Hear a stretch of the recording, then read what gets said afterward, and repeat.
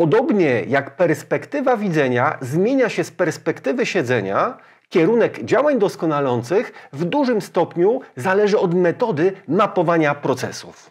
Jeżeli realizujesz produkty i usługi coraz bardziej dostosowane pod indywidualne potrzeby klienta, a czas ich realizacji stanowi o budowie przewagi konkurencyjnej, to znajomość mapowania MCT umożliwi Ci nową, świeżą perspektywę doskonalenia procesów.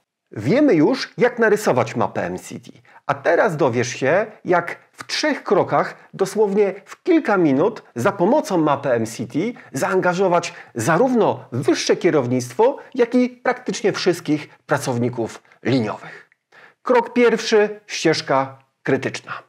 Jeżeli wykonałeś mapę ze ścieżkami równoległymi, to w pierwszym kroku identyfikujemy najdłuższą ścieżkę przejścia przez łańcuch dostaw. To właśnie tu jest największy potencjał redukcji czasów przejścia. Nawet jeżeli inne procesy kosztują nas więcej lub jest tam więcej marnotrawstwa, to ich optymalizacja nie spowoduje, że klient będzie czekał krócej. Najczęściej jednak mapy MCT mają charakter liniowy, więc przechodzimy do kroku 2, czyli identyfikacji tym, co jest marnotrawstwem w strategii QRM.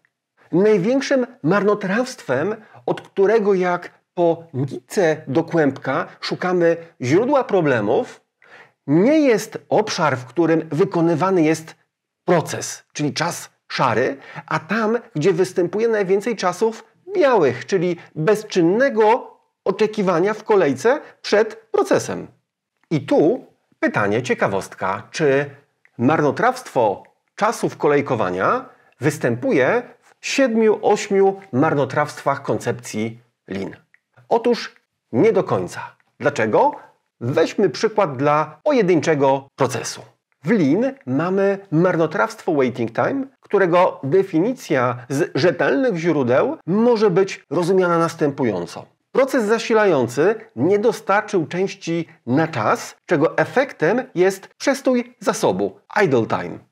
Zasób po prostu bezczynnie oczekuje na pracę, tracąc na efektywności. W Lean problem jest wtedy, kiedy nie ma kolejki, zasób stoi bez pracy. Odwrotnie niż w przypadku strategii QRM, gdzie marnotrawstwo zaczyna się właśnie wtedy, kiedy zaczyna pojawiać się kolejka. Czyli wydłużenie czasu oczekiwania klienta ponad sam czas procesowania, czyli czas szary. Im dłuższa kolejka, czyli koszt alternatywny czasu oczekiwania klienta, tym większe marnotrawstwo zwizualizowane właśnie jako czasy białe. W definicji Lean będziemy dążyć do poprawy efektywności pracy zasobów, a w QRM celem jest poprawa efektywności przepływu. Wartością dodaną perspektywy myślenia czasami białymi jest to, że poza koncentracją tylko na obszarze zapasów, tam gdzie fizycznie widzimy to na przykład schodząc na tak zwaną gębę, koncentrujemy uwagę również na problemie tam, gdzie tego fizycznie nie widać, czyli kolejkach w planowaniu, na wejściu do organizacji czy obszarze biurowym. W procesach na zamówienie klienta, gdzie czas realizacji stanowi o budowie przewagi konkurencyjnej, metody mapowania, które nie uwzględniają wszystkich czasów białych, dla mnie powinny dostać czerwoną kartkę. I ostatni, trzeci krok, czyli reguła 595. Jestem ciekaw, czy ją znacie. Ile według Ciebie zajmuje udział czasów szarych w czasie, jaki klient oczekuje na realizację zamówienia? Wyniki analiz setek map MCT wykazały, że czasy szare rzadko kiedy przekraczają 5%.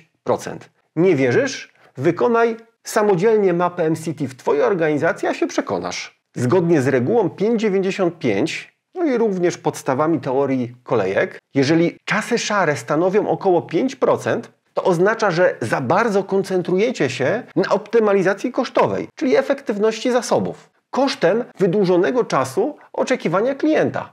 Więcej w tym odcinku. Mapowanie MCT daje unikalne spojrzenie na proces od wejścia zamówienia do wyjścia oczyma klienta w proporcjonalnym ujęciu dwóch czasów białych i szarych. Nowe spojrzenie otwiera świeżą perspektywę na doskonalenie procesów. którego celem nie jest koncentracja na efektywności zasobów, czyli na czasach szarych, a poprawa efektywności przepływu, czyli konsekwentna redukcja czasów białych. Ale nowa perspektywa wymaga nowych narzędzi, nowych metod doskonalenia, aby właśnie osiągnąć ten cel.